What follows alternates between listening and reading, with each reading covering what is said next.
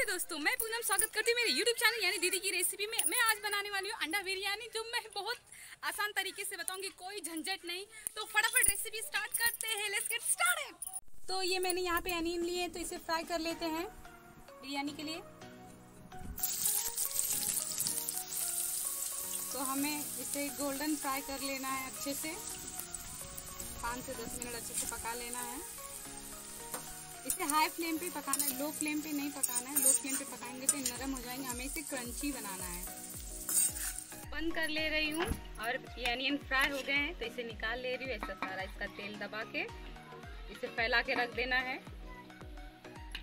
तो मैंने इसे मैंने अंडा बिरयानी बनाने के लिए अंडों को उबाल के इसे छील लिया है तो इसे मैं नाइफ से ऐसे चीरा लगा लूँगी इससे क्या होगा कि तेल में बबल्स नहीं उठेंगे। छिटकेगा नहीं थे जलने में भी, जलने का कोई डर नहीं रहता है। तो ऐसे चीरा लगा लेते हैं हम सभी अंडों को। तो दोस्तों, मैं सबसे पहले अंडे को मैरिनेट कर लेती हूँ। इसमें थोड़ा सा मैं नमक डालती हूँ। और इसमें थोड़ी सी हल्दी डाल दे रही हूँ। इससे क्या रहते मसाले। अंडों में ये मसाले डालने से थोड़ी सी लाल मिर्ची पाउडर भी डाल दे रही हूँ। इससे कलर बहुत बढ़िया आता है, देखने में भी। अच्छा लगता है।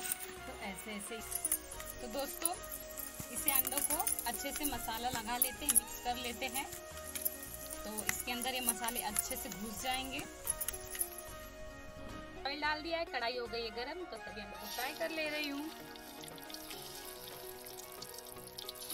अंडे पटकेंगे। तो हमें आराम आराम से तल लेना है। सारे अंडों को मैंने तल लिया है देखो ये रेडी हो चुके हैं। तो फ्रेंड्स ये देखिए, पानी मैंने उबाल लिया है। देखो, उबल रहा है तो अब सारे मसाले इसमें डाल दे रही हूँ। काली मिर्च, छोटी बड़ी इलायची, दालचीनी और ये तेज पत्ते। और मैं साथ ही साथ इसमें डाल दे रही हूँ एक चम्मच नींबू का रस और दो बड़े चम्मच इसमें डाल रही हूँ तेल। तो मस्त ये उबल रहा है। एक चम्मच इसमें नमक डाल रही हूँ। नमक डालना हमें ज़रूरी है ताकि जो नमक है, चावलों को एकदम से अब्सॉर्ब करें तो मैं डाल रही हूँ। तो मैंने ये इंडिया गेट बासमती राइस लिया है और मैंने इसे धो के बस तुरंत ही डाल दी मैंने इसे रखा नहीं था। इसको ऐसे ही बॉइल करना है, खुले में। ढकना नहीं है इसे। कुक हो चुका है राइस तो इसे मैं निकाल ले रही हूँ। कपड़े पे मैं छान लूँगी। आप चाहो तो छन्नी पे भी छान सकते हैं अच्छे से। पास नहीं तो मैं इस कपड़े पे ही छान ले रही हूँ। फ्रेंड्स चावल को अच्छे से फैला लेना है पंखे के नीचे रख देना है। एकदम ये सूख जाए तो बहुत बढ़िया हो जाएगा लंबे लंबे सो so फ्रेंड्स मैं तेजपत्ता डाल रही हूँ। ये वही कढ़ाई है जिसमें मैंने अंडा को फ्राई किया था और दालचीनी डाल रही हूँ। लाल मिर्च डाल रही हूँ और यहीं पे मैं हरी मिर्च भी डाल दे रही हूँ। और साथ ही साथ मैं यहाँ पे फ्रेंड्स मैं क्रश किए हुए चार बड़े प्याज यहाँ पे ऐड कर रही हूँ। आप चाहो तो काट के भी डाल सकते हो। ये क्रश किए हुए रहते हैं तो इसमें अच्छे से भून जाते हैं पक जाते हैं गल जाते हैं। यहीं पे मैं अदरक का पेस्ट डाल रही हूँ दो चम्मच। और डाल रही हूँ, यहाँ पे मैंने लहसुन ज़्यादा लिया है। लहसुन को अच्छे से भून लेना है। हल्दी ऐड कर रही हूँ और साथ ही साथ गरम मसाला डाल रही हूँ। तो मैंने एक चम्मच गरम मसाला डाल दिया है और जीरा पाउडर में डाल रही हूँ एक चम्मच। काली मिर्च डाल दे रही हूँ आधा चम्मच। और यहाँ पे मैं धनिया पाउडर डाल दे रही हूँ।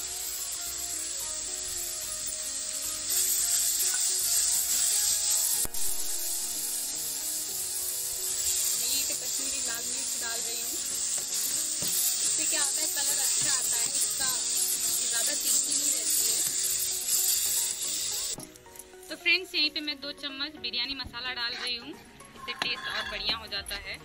और साथ ही साथ में इसमें थोड़ा सा पानी ऐड करी मसालों को। ये मसाले ने तेल छोड़ दिया, यानी कि ये पक चुका है तो अब लेयरिंग कर लेते हैं। ये देखिए दोस्तों, ये पक चुका है मसाला। तो इसके अंदर मैं दही डाल रही हूँ, मैंने गैस को बंद कर दिया है। तो अच्छे से इसे ध्यान रखना है कि गैस को बंद करके इसे फेंटना, नहीं तो फट जाएगा। तो दोस्तों ये मैंने दो बड़े चम्मच तेल लिया है तो इसमें मैं लेयर के नीचे लगा लूँगी टोप के नीचे तो मैं डाला है तो इसे घुमा के मिक्स कर देती हूँ। तो इसमें मैं मसालों को डाल दे रही हूँ।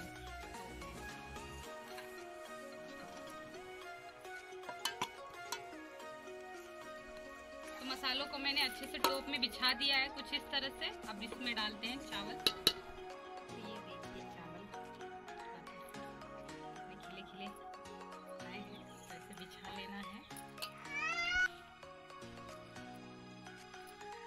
चावल को अच्छे से बिछा लिया है।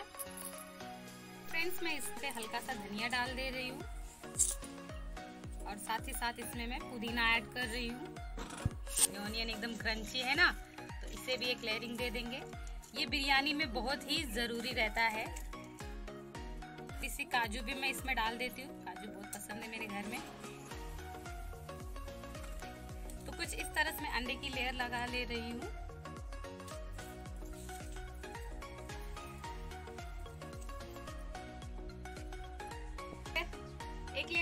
चुकी है तो हमें फिर से एक लेयर लगाना है। चावल को फिर से वैसे ही कंटिन्यू बिछाना है।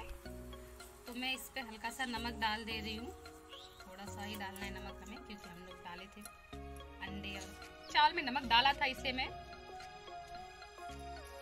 तो मैंने नमक की भी लेयरिंग कर दी है। तो फिर से वैसे ही मैं फ्राई अनियन बिछा रही हूँ।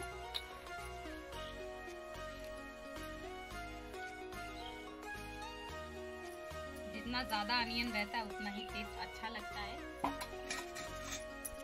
फिर से धनिया को बिछा ले रही हूँ और ये पुदीना। पुदीने का टेस्ट इसमें बहुत अच्छा लगता है दोस्तों। काजू भी डाल दे रही हूँ मैं।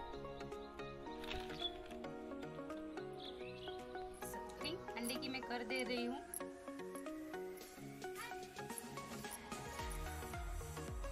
मज़ेदार लग रहा है। में भी उतना टेस्टी रहेगा। ज़रा सा मैं इसमें फ़ूड कलर डाल रही हूँ। तो फ़ूड कलर से क्या रहता है? बाज़ार का टेस्ट आता है। बिरयानी को हमें पाँच मिनट के लिए लो फ्लेम पे पका लेना है अच्छे से। तो दोस्तों, बिरयानी पक चुकी है। तो इसे मैंने 15 मिनट के लिए ठंडा होने के लिए रख दिया था। इसे तुरंत ही नहीं सर्व करते हैं। तो अब देखिए, मैं इसे सर्व करने जा रही हूँ। तो ये देखिए, बिरयानी को। मुझे प्राउड फील हो रहा है सब बिरयानी बनाने के बाद। आई होप आप सबको बिरयानी पसंद आएगी।